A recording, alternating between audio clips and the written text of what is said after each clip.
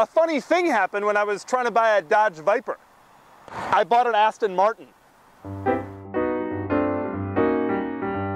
For those of you who didn't vote for the Aston Martin V8 Vantage, hear me out on why I chose it.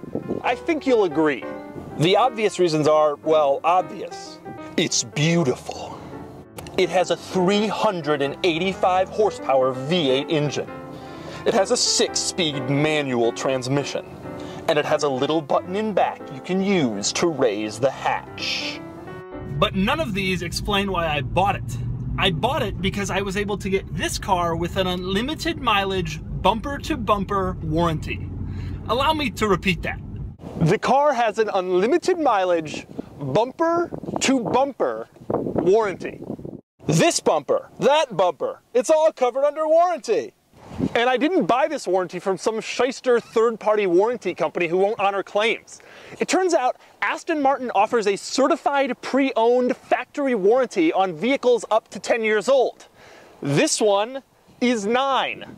So I bought a certified pre-owned Aston Martin with a factory bumper to bumper unlimited mile warranty. and in fact, it gets even better than that. What do you think a shiny, modern, V8 powered, beautiful Aston Martin with a certified pre-owned warranty costs?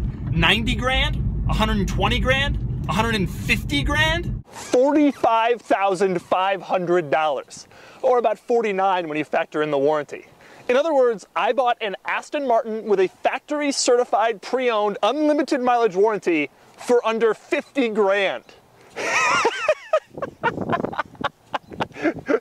For the same money I paid for my Aston Martin, you could have had a Honda Odyssey Touring Elite, a BMW 335i with like two options, or an Aston Martin with a bumper to bumper certified pre owned warranty, a base model Chevy Tahoe with cloth seats, or an Aston Martin with a bumper to bumper certified pre owned warranty, two of these ridiculous telephoto lenses on Amazon, or an Aston Martin with a bumper to bumper certified pre owned warranty one healthy adult giraffe, according to exoticanimalsforsale.net, or an Aston Martin with a bumper to bumper certified pre owned warranty. I carefully considered all these options, but in the end, I went with the Aston Martin with the bumper to bumper certified pre owned warranty. And I'm really glad that I did because I've already run into a few issues. Most notably, the day after I picked it up, the check engine light went on.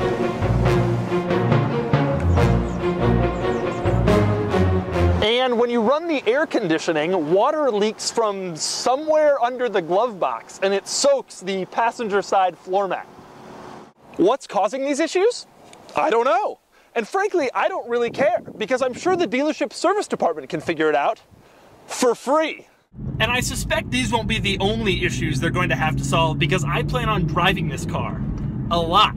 I've only had it for one week and I've already put 400 miles on it. And I plan on daily driving this car throughout 2016. Hot or cold, rain or shine, I'm taking the Aston. I even plan on taking it on some trips.